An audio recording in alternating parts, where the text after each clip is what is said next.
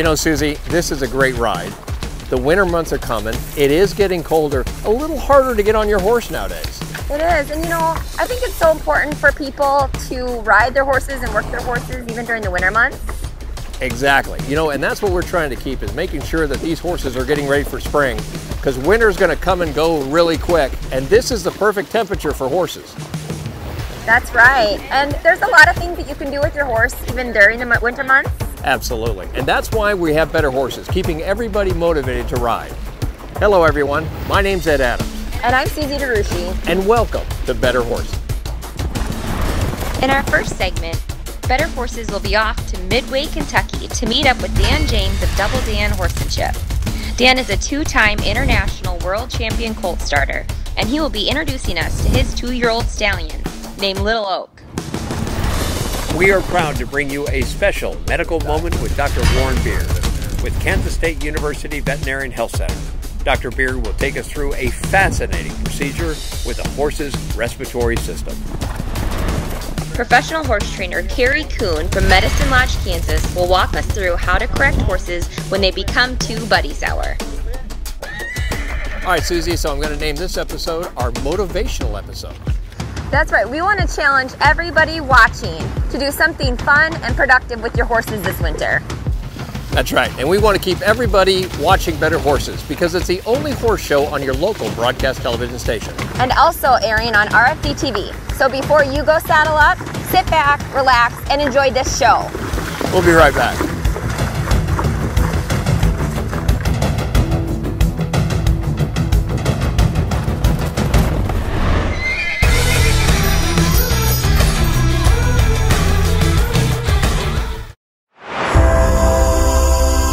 Sister, as a happy horse, is always a better performing horse, and I believe that if she's healthy from the inside out, she's going to be able to perform at her best. She definitely feels good when she is healthy. She, you know, wakes up and enjoys her day, and therefore I know she's going to be a happy horse and be able to perform when I ask her to. G'day, Dan James here from Double Dan Horsemanship, and I'm excited to be here on Better Horses TV. Okay, guys, I'm here with a good mate of mine, Elliot from Versatile Horsemanship, and he's riding a little two year old today, and we're going to start uh, part of my lead change program. It, it's a pretty neat deal. I know there's lots of different ways to do lead changes. Um, I love this particular drill or pattern, uh, what you may want to call it. I think it's a great way to help get these horses um, set up and prepare them not only for the lead change but other transitions. Let's get into it. Okay, all right, mate, if you want to go ahead and, and walk off, trot off, and then uh, pick up the, the canter there to the left for us. So in this deal here, um, we're not even going to actually attempt the lead change um, on this little two-year-old. What we're going to do is just kind of start walking this little horse uh, through the drill. So as Elliot returns back here to center, he's going to break him back down to the walk. And now he's going to start walking a circle here to the left. And as he's walking this circle here to the left, um, we're going to have him put his inside left leg on and just look at pushing that little horse's hip to the outside, so to the right and we want to keep try to keep his head and neck as straight as we can. And we'll just keep bumping that kind of hip pushing that hip around to the outside uh, through this. As he returns to the center he's then going to go back up to the trot back up to the canter and canter a circle off to the right. So if you'll go ahead and then move him back up to the trot and then up to the canter. The cool thing that I love about this particular um, exercise is that the exercise itself starts to tell you and tell your horse when you're ready to start actually asking for that lead change. It also obviously starts to get to work on other components such as the walk to canter transition, canter to walk transition, because all of those parts are going to be important in the other pieces of your horse's education. So again there, and if your horse was to get a little stuck right there, um, you know, I might pick him up and, you know, turn him around there to the right, getting him off that inside leg and then go back to walking that, that bigger circle. As he gets back there to the center, let's do one more off here to the left. So you're going to look up to that left, go up to the trot, and then break him up there to the canter and ask him to lope off again. And as he returns, he's going to come back to the center, downward transition to the walk, stop, and let the horse hang out here in the center. So again, in this deal, one of the important parts of it is that we're looking at that horse, um, working through any anxiety that we may build through here, but more importantly, making sure that we're setting this horse up in these other elements that we're doing prior to asking for that lead change. Okay, guys, we've got another one here of Elliot's. This guy here is getting towards the end of his uh, two-year-old year. We're going to go through and work this guy through the same pattern, but asking a little bit more of him. Okay, go ahead and uh, walk off and then look at picking up the canter.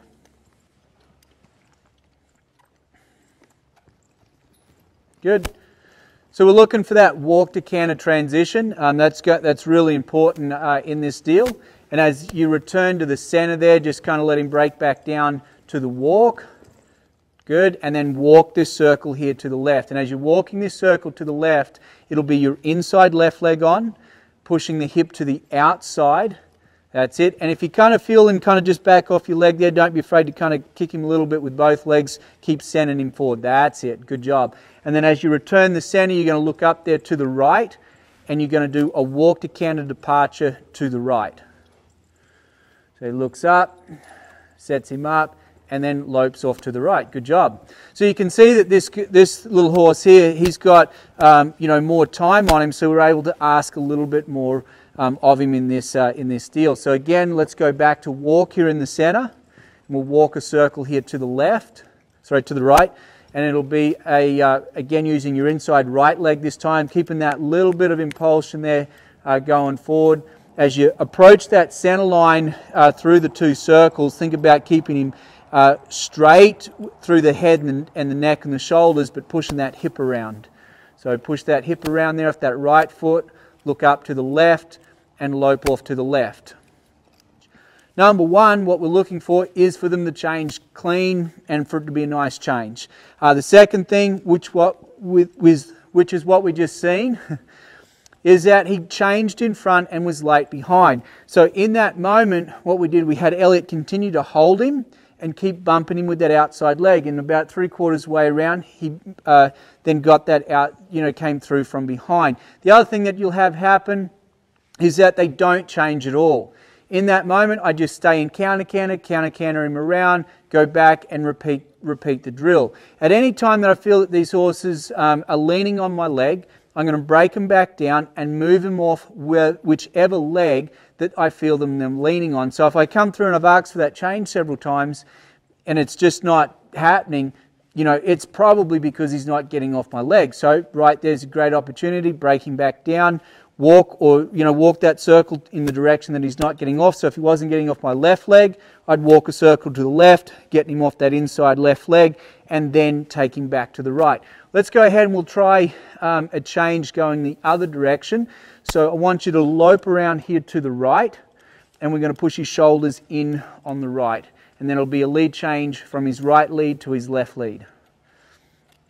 So pick up that canter loping him around and canter again, another circle here. And as you're going around, I want you to think about just pushing his shoulders to the inside. So just kind of outside left leg, driving those shoulders to that inside. And you just want to go one more circle and just go just a little bit quicker, just keeping, keeping him moving. There you go. Good. Shoulders to the inside, pushing those shoulders inside. And as you come through the center, just put that right leg on him and change there to the left. Good job. Okay, and go ahead and walk there. So when I, when I start this deal out, if I come through here and I got the change just like Elliot did there, I'll kind of kind of pass that quarter mark and then I'm going to just let those, those young horses go back down to the walk, let them walk back here to the center and sit here in, in the center and just kind of let them take that in. Then I would pick it up and go and start the drill all over again. Thanks mate, good job. Stay tuned. We'll be right back right after these messages.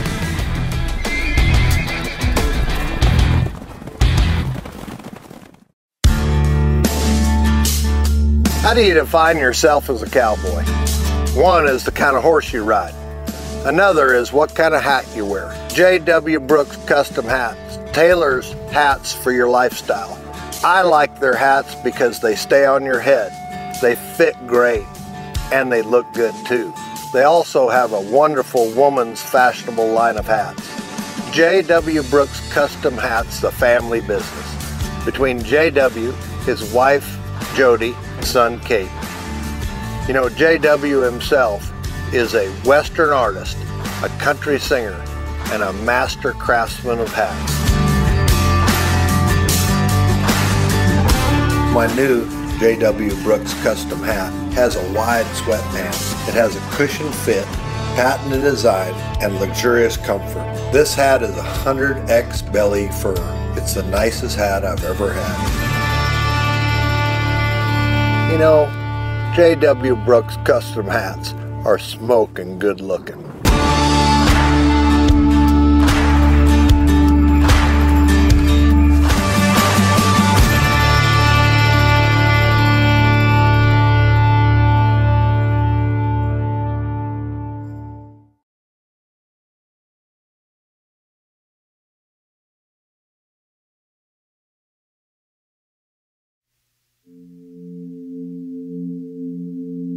My name is Warren Beard. I'm a professor of equine surgery here at Kansas State University.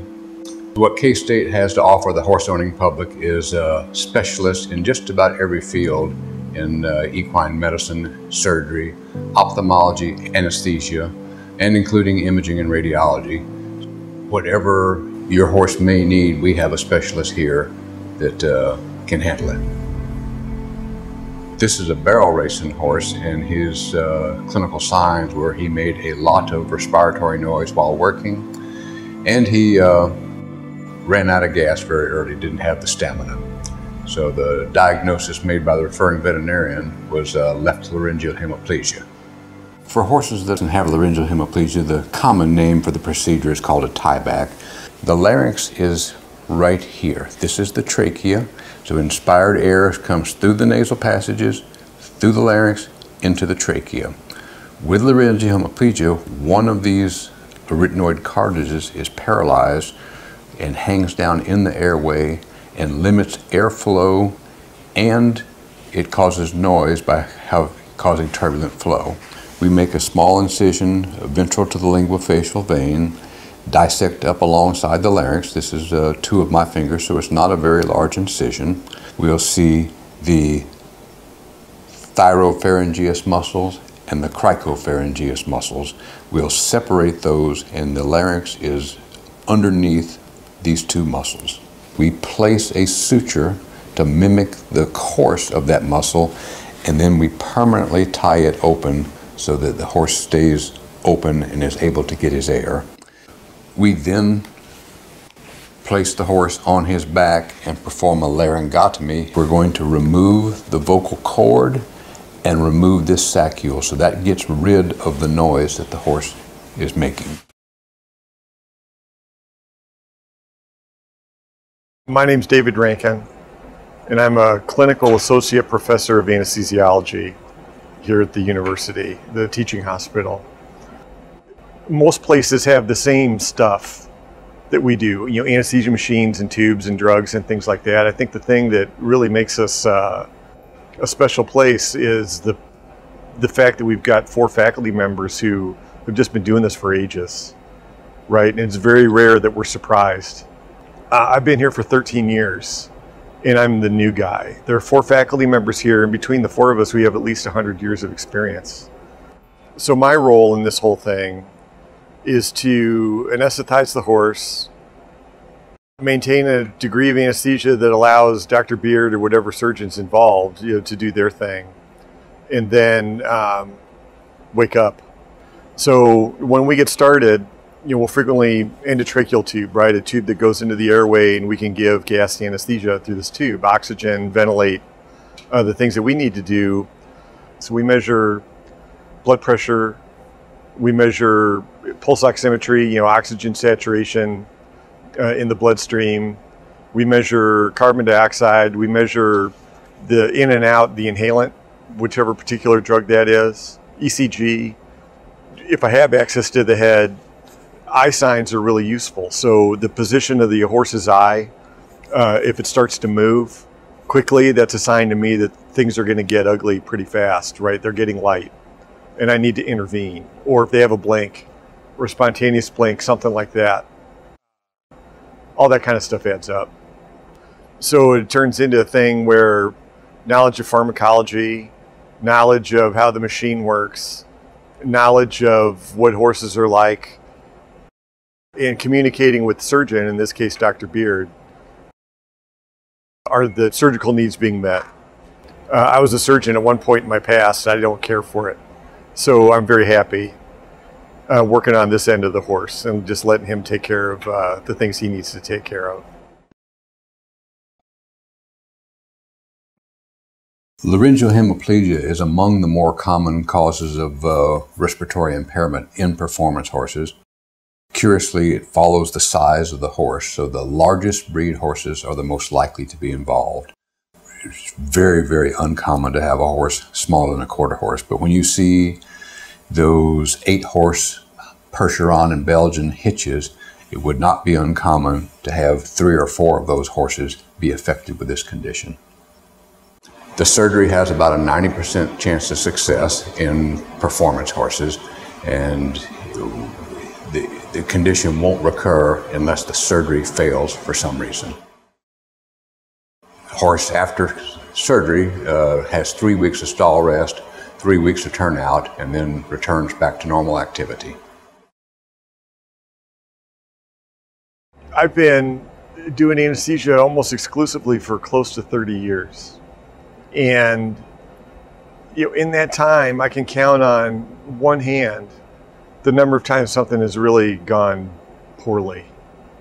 You know, the numbers speak for themselves, I think. When we consider the number of horses that we do and the way that we do things, I think we've sort of dialed in on something that works. Out of all the places I've worked, and I've worked at a couple different universities and I've been in private practice, this is probably the place where the people have been here maybe the longest. And it's because people get along, uh, we communicate well, you know, as a faculty, surgeon, anesthesia, medicine, all that stuff. You know, we're all pet owners too. I've got some horses. Uh, we all got dogs and cats and occasional birds and fish and stuff like that. I mean, we get it. You know, clients come in and they've got concerns, and frankly, we have the same concerns they do. And uh, not just the anesthesia people, I think everybody here. Um, we know what it's like to be a client because we've all been one we continue to be clients, you know, as people help us with our own. So, uh, you know, I wouldn't think twice about anesthetizing my own horse for virtually anything. We've come a long way as a profession, I think, in addressing pain, uh, and that improves the course of anesthetic. It improves recovery. Uh, you're doing your dog a favor, doing your horse a favor. I think bringing it here.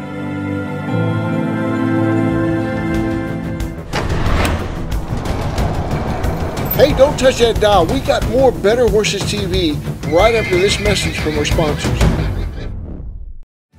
No matter what discipline of riding you do, training, showing, and everyday stress is hard on your horse's legs.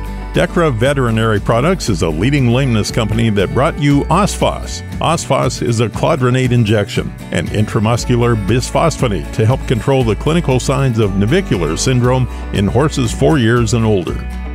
Ask your veterinarian if Osphos is right for your horse. Dechra Veterinary Products is a proud sponsor of The American. In a natural, free roaming situation, horses graze nearly constantly throughout the day and night. When feeding horses in stables, it's ideal to try to mimic this feeding behavior. Horses in stabled conditions should be fed their hay so they can pick at it continuously between feedings visit our website at standleeforage.com under Nutrition, then Nutritional Resources to help transition your horse from winter to spring in the coming weeks. When you're a barrel racer, there are so many things that can bother a horse. Just eliminating the back issues is a huge advantage. I feel like using a CSI saddle pad has given me an advantage over other girls because I know that my horse is feeling good, that saddle's not bothering him.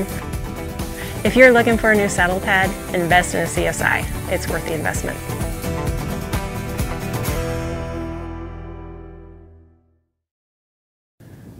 Ernie, it's so great to have you with us here today. Thank you so much for letting us be a part of Better Horses TV.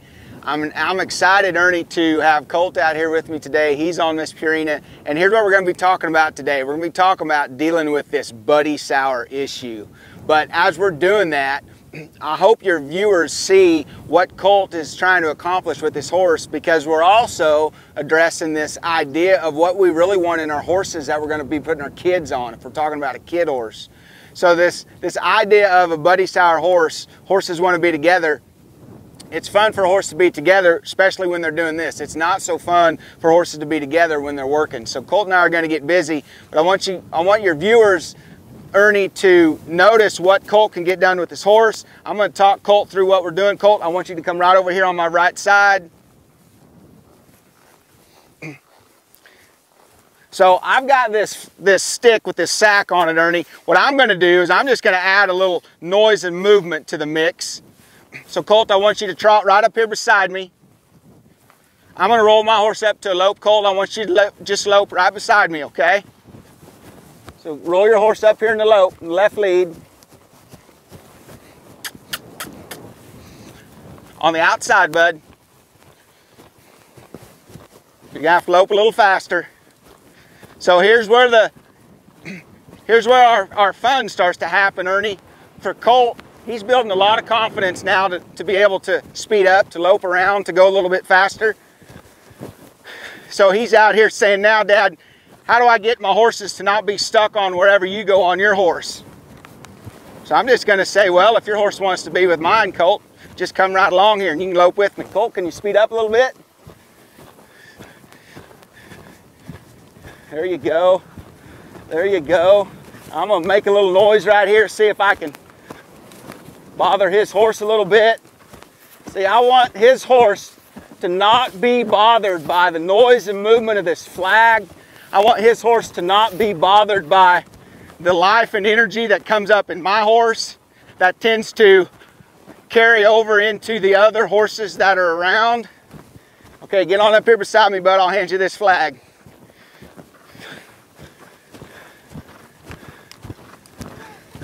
you got it? All right, you got to get the, get a hold of the handle of it. Now you make some noise with it. Just stay right there on that circle. There you go. Had a boy. He just loping around. You see how i I've got my horse pretty close to his. And Ernie, we'll just be here loping around for a little bit. Now switch hands, Colt. There you go. Go ahead and slow down there. Had a boy.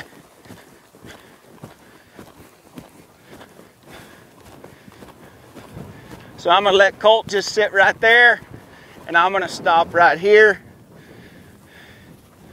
So the idea there, Ernie, is these horses want to be together out of instinct, out of their safety in numbers out of I got to be near other horses or I'm, I feel more secure when there's other horses around because that means we have more eyes and more ears to see things that might sneak up on us.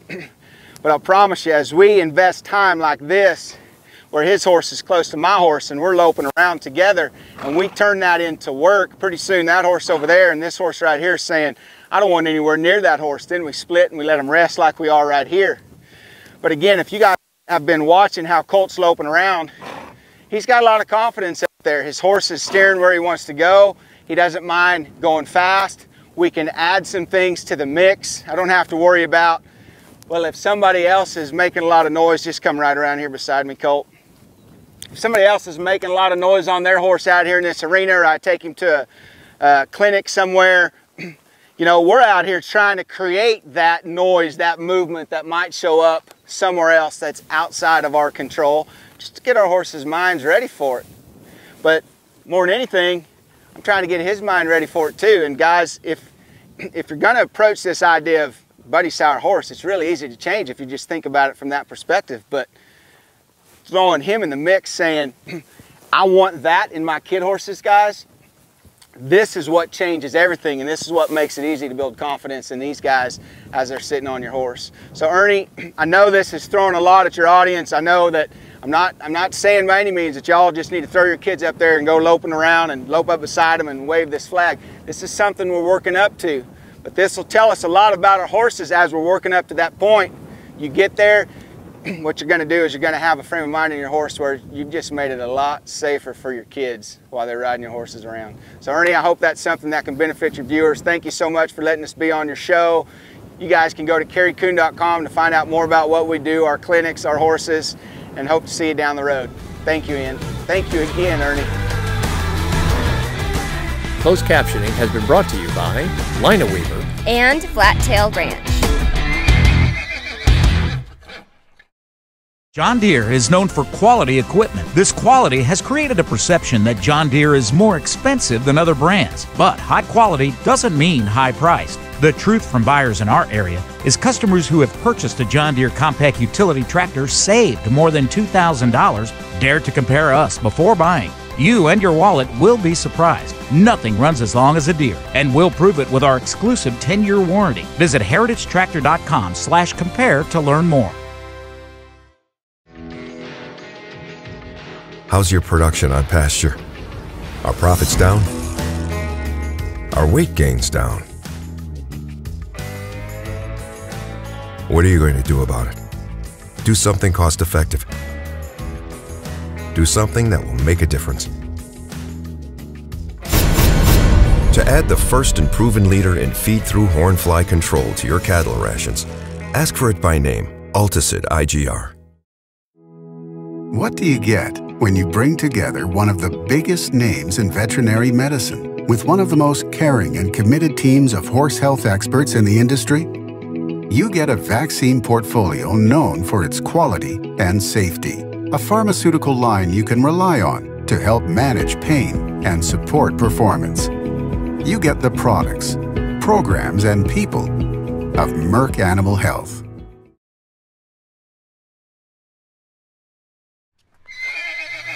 Hey, thank you for watching Better Horses. If you've missed any of our episodes, you can check us out at betterhorses.com where you can see all our shows.